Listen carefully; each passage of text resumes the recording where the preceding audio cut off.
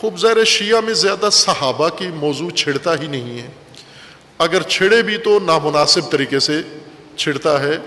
हमारे जो जाकरीन खुतबा हैं, जो तो आलिम हैं, वो समझदारी की बात करते हैं चंद इख्तलाफी बात भी करें, लेकिन किसी अदब के साथ, किसी अंदाज के साथ करते हैं, लेकिन उमूमन पढ़े लिखे नहीं होते। मेम्बरों पर यह बहुत ही काबिल अफसोस बात है ये कि शिया मेम्बरों पर अक्सर पढ़े लिखे नहीं होते। अहले सुन्नत भी ऐसा ही है। नहीं है कि वहाँ बड़े अल्लाह में आते हैं, वो भी ऐसे ही हैं।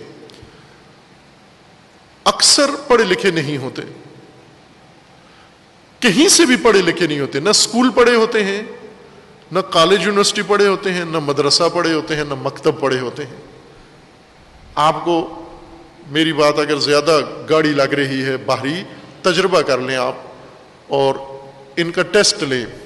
स्कूल का टेस्ट लें, इनसे ए बी सी सुने, अलिफ बेज अलिफ सुने ये तक, हिजा करके बताएँ, हरूफ उर्दू के सुनाएँ, और आप इनसे सुने कुरान। एक बहुत आसान और आम टेस्ट ये है कि जब मेंबर पे आए तो कुरान इनको दे दो कि आप पाँच मिनट के लिए एक रुकू कुरान की तलावत करें यहाँ पर। देख कर हाफिज नहीं देख कर करें। अगर तो ये कुरान की तलावत कर लें तो इनको पढ़े लिखों में शुमार करो। लेकिन आपको ज़्यादा मायूसी होगी कि देख कर भी कुरान पढ़ना इन्हें नहीं आता। लेकिन हैं एक कौम के ख़तीब, उसके आलिम और अल्लामे, कुरान पढ़ना नहीं आता इनको। ये जब ज़िक्र छेड़ते हैं सहाबा का, फिर उस इख्तलाफ की आड़ में वो सारी हदें तोड़ जाते हैं। सहाबा के लिए अल्लाह ताला ने, रसूलुल्लाह के साथियों के लिए कुरान करीम में अल्लाह ने बहुत इकराम और एहतराम कायम किया, हुक्म दिया है। यूँ नहीं है कि सहाबा सुनियों के सहाबा हैं, शियों के सहाबा से कोई ताल्लुक नहीं है। रसूलुल्लाह सल्लल्लाहु अलैहि वसल्लम के सहाबा अगर रसूलुल्लाह शिया की मीरास हैं तो रसूलुल्लाह के सहाबा भी शिया के लिए काबिल कदर हैं, काबिल एहतराम हैं। जिस सहाबी की रसूलुल्लाह ने ताजीम की है, कुरान ने ताजीम की है, शिया पर लाजिम है, मुसलमान पर लाजिम है, उसकी ताजीम करना। अब अगर चंद शख्सियात से आपको इख्तलाफ है, कोई हरज नहीं है, इख्तलाफ कर सकते हैं आप, लेकिन चंद साहबा से इख्तलाफ दलील हो कि आप तमाम साहबा को नज़रअंदाज कर दें। आपको पता है सहाबा में कौन कौन है और कैसी कैसी शख्सियात हैं, कैसी हस्तियाँ हैं, सहाबा के अंदर उन्होंने क्या किया है और रसूलुल्लाह ने उनके लिए क्या फरमाया और अल्लाह ने उनके लिए क्या फरमाया है? ये हमारे निसाब में नहीं है सहाबा का चैप्टर। ये खला बहुत अरसे तक महसूस होता था और तालब इलमी के ज़माने में, उसी वक्त ये तो होती थी कि हमारे इसातीद हमारे बुजुर्गान, खूब कहीं तो छेड़े ना ये मौजू। ठीक है, सहाबा अहल बैत के बराबर नहीं है, इसमें कोई शाक शुबा नहीं है। रसोल्ला ने जो अहल बैत का मकाम बुलंद किया, वो सहाबा से हट कर है। सहाबा की कैटेगरी में अहल बैत को रसोल्ला ने दर्ज नहीं किया। वो एक मकाम है, मुनफरद सवा लेकिन सहाबा का अपनी जगह एहतराम है एक। कुरान ने ज़िक्र किया है, रसूलुल्लाह ने ज़िक्र फरमाया है। अब जिन साहबा से आपको इख्तलाफ है, ठीक है, अगर जी नहीं चाहता, उनको, उनका तस्करा ना करो, आप खामोश रहो। लेकिन सारे तो नहीं है कि आप, तमाम साहबा से आपको इख्तलाफ है। अगर तमाम रसूलुल्लाह के साथियों से इख्तलाफ है तो फिर तो खुद रसूलुल्लाह के बारे में भी फिर लगता है आपको इख्तलाफ है। जिनसे इख्तलाफ है, इख्तलाफ करो। ये जो नज़रिया है कि सहाबा से इख्तलाफ नहीं किया जा सकता अल सुन्नत के यहाँ भी इसकी मुखालफत की जाती है। किया जा सकता है, चूँकि सहाबा ने खुद आपस में एक दूसरे के साथ इख्तलाफ किया है, इख्तलाफ रखा है। उस इख्तलाफ को इजतहाद का नाम दे दिया जाता है और उस इख्तलाफ में हर दो का एहतराम करते हैं। उस इख्तलाफ में जंगें भी की हैं, उस इख्तलाफ में झगड़े भी किए हैं, उस इख्तलाफ में बहुत कुछ आगे निकल गए हैं साहबा। बाज ने हदें तक उबूर कर दी हैं, लेकिन उनके मानने वाले फिर भी कहते हैं, कोई हरज नहीं है। आपस में उनका इख्तलाफ था मुसलम था। अगर आपस में उनका इख्तलाफ था, खूब दूसरे लोग भी उसी इख्तलाफ को बुनियाद करार देकर कोई इख्तलाफी राय रख सकते हैं उनके बारे में। लेकिन यूँ तो नहीं कि सबसे इख्तलाफ है आपको। हज़ारों साहबा रसूलुल्लाह सल्लल्लाहु अलैहि वसल्लम के उन सबसे तो कोई नहीं कह सकता। कोई कह सकता है मसल शिया, उसको सलमान फारसी से भी इख्तलाफ है, उसको अबूजर गफारी से भी इख्तलाफ है, उसको अमार यासिर से भी इख्तलाफ है, उसको हज़रत मकदाद से भी इख्तलाफ है, उसको हज़रत हमजा सैदुलशहदा से भी इख्तलाफ है, उसको इबन अब्बास से भी इख्तलाफ है। है ज़रूरत किसी के अंदर? इन सहाबा के बारे में कहे, लेकिन इनका ज़िक्र कहाँ आता है? इनका भी तो कोई तस्करा नहीं आता।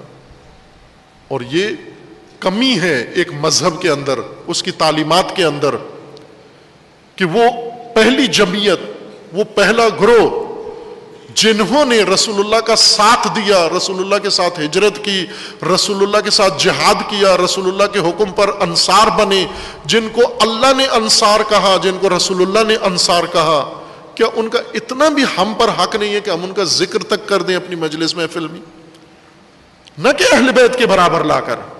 अहल बैत का एक अपना मकाम है। लेकिन जो उनका है, जो दीन ने और इस्लाम ने उनका मकाम रखा है, उस हद तक तो वो हक अदा होना चाहिए। सहाबा के बारे में तफसील, उनके हालात ज़िंदगी, उनका जहाद, उनके कारनामे, उनकी खदमात बाद सहाबा अहल बैत ने उनके लिए जो अल्फाज अदा किए हैं, वो तकरीम और ताजीम जो अहल बैत ने साहबा की की है, वो बताती है कि साहबा की ताजीम करनी चाहिए, चूँकि खुद अहल बैत ने की है, खुद अली सलाम ने की है, आइम्मा ने की है, आइम्मा अतहार ने की है, तमाम आइम्मा इसना अशर ने की है। अगर चाँद एक से इख्तलाफ है तो इसका मतलब ही नहीं कि पूरी कैटेगरी को ये इंसान छोड़ जाए। ये कमी है, बहुत सख्त कमी है अजीजान। साहबा के बारे में हमारे बच्चों को नहीं पता, इन्हें साहबियों के नाम पूछे नहीं पता।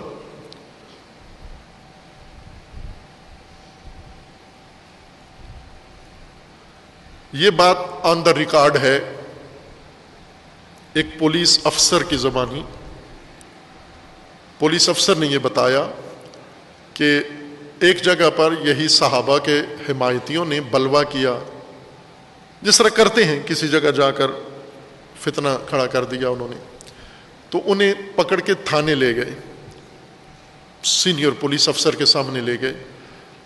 तो उन्होंने चाहा कि आपस में दोनों फरीकों की आपस में सुलह करवा दी जाए, लेकिन ये नहीं मान रहे थे किसी सूरत में, जी सहाबा की तोहिन हुई, सहाबा के बारे में, सहाबा के बारे में। इन्होंने कहा कि अच्छा तुम सहाबा के एहतराम करते हो, सहाबा इन्होंने कहा कि ठीक है, अगर तुम दस सहाबियों का नाम ले लो, ये जो सहाबा के हामी थे, सहाबा के नाम पर मरने मारने के लिए तैयार हो जाते हैं, उस सीनियर अफसर के बकौल कि उसने इन्हें कहा कि तुम बारी बारी सारे, तीन चार आदमी थे, कहा कि तुम दस सहाबियों के नाम बता दो मुझे।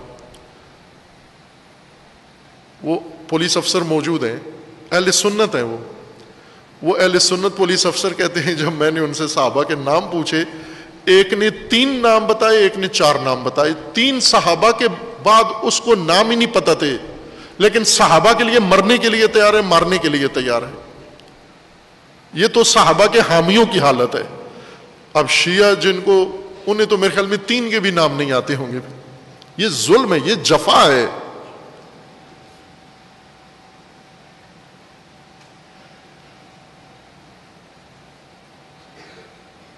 जो उनका मकाम है, उसी हद तक उनका ज़िक्र करें।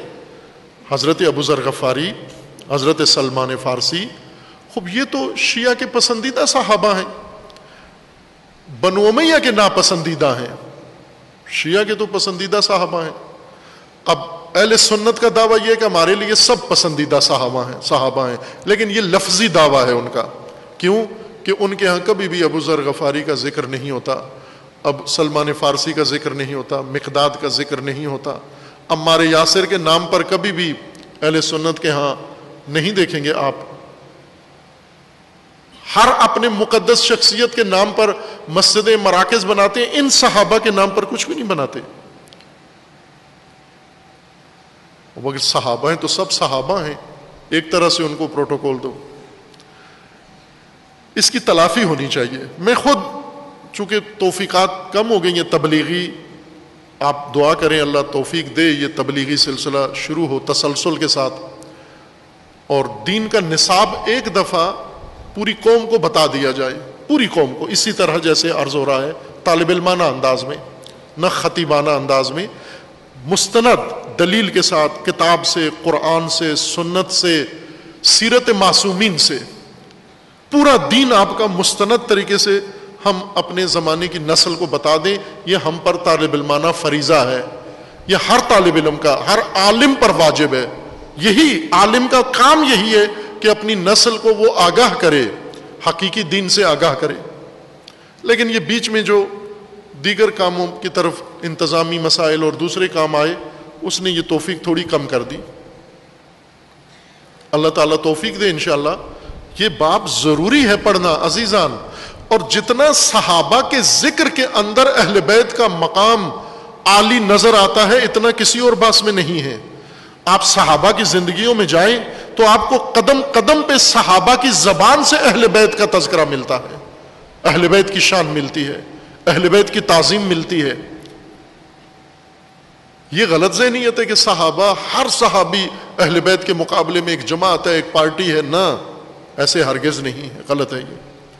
इस जहनीत को हमें ख़त्म करना होगा और जो काबिल तज़ीम हैं, जो काबिल तकरीम हैं, जो वाजिब तकरीम हैं, उनकी तकरीम करें। जिनसे आपको इख्तलाफ है, उनके बारे में खामोशी इख्तियार कर लें। चूँकि वो आपके नज़दीक अगर वाजिबुल एहतराम नहीं है, दूसरों के नज़दीक हैं। कुछ लोग उनका एहतराम करते हैं, जिनका आप बेशक इख्तलाफ रखते हो, लेकिन दूसरे उनका एहतराम करते हैं। और जब दूसरे उनका एहतराम करते हैं तो आपको हक नहीं बनता, उनकी भी बेहतरामी करें आप। लेकिन इख्तलाफ ज़रूर करें। इख्तलाफ से एहतराम ख़त्म नहीं होता। इख्तलाफ राय रखी, चूँकि साहबा आपस में इख्तलाफ रखते थे और एहतराम भी उनका था। कई मसाइल में खलीफा अव्वल को खलीफा दोवम से, खलीफा को खलीफा अव्वल से, चंद मिसालें मैंने आपको दी कि उनको इख्तलाफ था आपस में, लेकिन एहतराम ख़त्म नहीं होने दिया। अब ये काम लोगों के अंदर भी हो।